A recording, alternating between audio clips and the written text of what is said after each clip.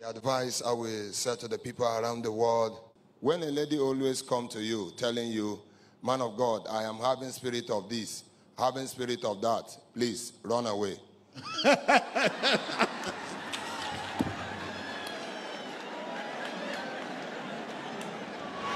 Voilà, tout cet homme a entendu la confession de cet homme après sa délivrance. My God. Start again. My God. What I want to tell people all around the whole world be careful of people, both married women, some of them are marine women. They are looking for a place to pull you down. They will be telling you, man of God, I am passing through this thing. My belly is aching. My breast, I'm having chest pain in the breast. all this, all that. Please run away.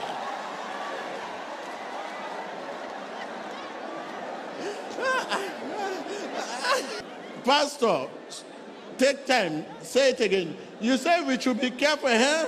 Viewers all over the whole world, be careful because this is how I just started.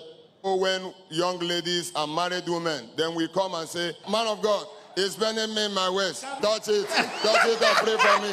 Man of God is bending me in my chest. Touch it. Touch it and pray for me. Man of God, my belly. Before you know what is going on,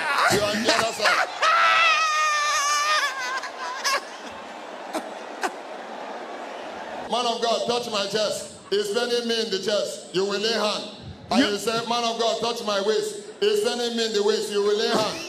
man of God, touch me in my tummy. Before you know, from tummy, you have gone down.